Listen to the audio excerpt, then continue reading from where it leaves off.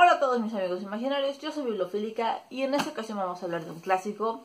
Yo sé que casi no pasa en este canal, pero sí, y es, es 20 años después.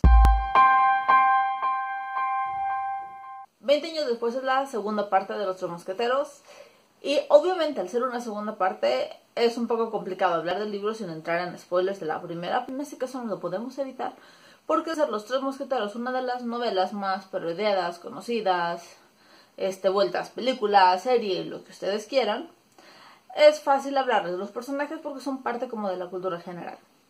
Ahora, como su nombre lo dice, el libro ocurre 20 años después de terminado el primer libro. Y sí, esta reseña, igual que las demás, va a tener una parte general y otra con un poco de fangirleo. Ahora, en estos 20 años han pasado muchas cosas. Los mosqueteros, al menos Athos, Porthos y Aramis, ya no están en el servicio. El único que sigue es D'Artagnan. La corona también ha cambiado, el rey Carlos murió y es su hijo, el nuevo rey. El detalle es que aún es algo joven para tomar bien las riendas del reino. Y de hecho, no solo es la reina la que está al frente, también el nuevo cardenal, porque también Richelieu falleció. El nuevo cardenal Mazarino, el cual de hecho se casó con la reina en secreto, o sea, secretos raros, es el nuevo rey de Francia. Y ya saben que en estos libros siempre hay muchísima intriga política, porque hay herederos al trono, hay gente que no los quiere, hay revoluciones. Y en ese caso es D'Artagnan el que tiene un encargo, hay una intriga política por ahí en el que se requieren sus servicios y él dice, bueno, esto sería una situación perfecta para volver a encontrarme con... Entonces sale en la búsqueda de Athos, Portos y Aramis para saber un tantito más qué pasó con sus vidas y si están dispuestos a unirse o no. Ahora aquí tenemos que entender que sí es muy diferente el ambiente porque una es el saber qué pasó con ellos. Ahora, sin entrar mucho en spoilers, les puedo decir que una cosa que me molestaba de leer de este libro es que no están todos en el mismo bando, por decirlo así, como estaban en el primer libro. Es difícil leer cómo han cambiado, pero hay cosas muy buenas en este libro. El nuevo cardenal, bueno, es una versión diferente de Richelieu, pero es bastante interesante también. Y tenemos un nuevo villano aquí, el cual es genial.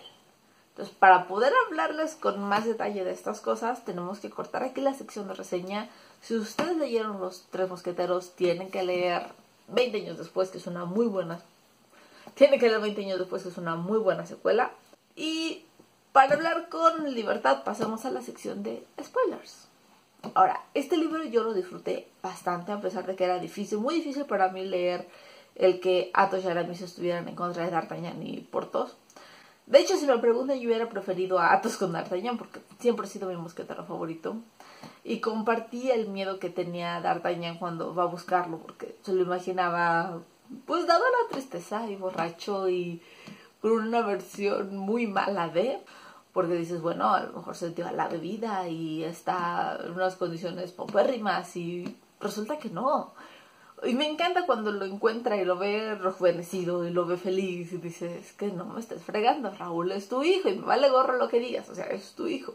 Y de hecho, toda la historia de cómo fue concebido Raúl se me hace divertida, se me hace original, se me hace... No sé, me gustó bastante, o sea, es una historia un poquito turbia, pero... Pero la otra escena del libro que me encantó es cuando el hijo de Milady está sacándole la sopa al verdugo y decide ir tras ellos y lo en vez de darle la excomunión lo mata, yo estaba gritando, que creo que es de las primeras veces que yo le estaba gritando al libro así de ya cállate, que estaba soltando demasiado la sopa.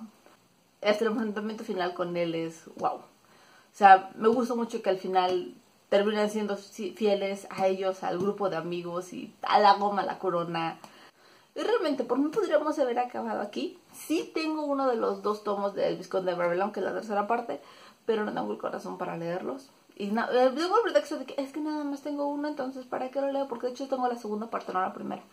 Y estoy de, ay, bueno, este, no, no lo puedo leer así, ¿verdad? Porque pues no, pero la verdad es que no, tengo mis dudas de querer leerlo porque ya es, o sea, ya sé que va en el tercer libro y no quiero leerlo, no voy a soportar leer cómo van muriendo los mosqueteros, no voy a soportar leer cómo muere Raúl. Y, ay, o sea, Alejandro Dumas tiene una pluma maravillosa. Y francamente, si te gustan los tres mosqueteros, tienes que leer esto, tienes que saber qué pasó y tienes que verlos así. Y me gusta, me gusta bastante. Eso es todo con este fangirleo chiquito. Yo soy Filofilica, nos vemos en el siguiente video. Adiós.